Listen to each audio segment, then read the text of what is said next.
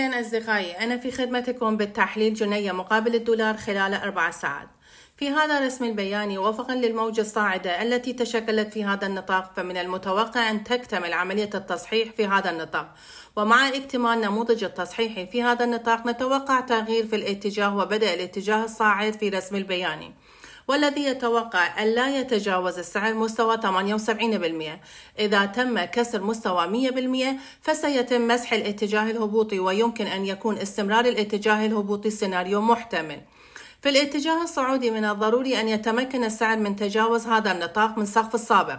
في هذه الحالة سيتم تشكيل اتجاه صاعد متوسط المدة. ويمكن مواصلة الاتجاه الصعودي حتى نطاق سقف السابق في هذا النطاق.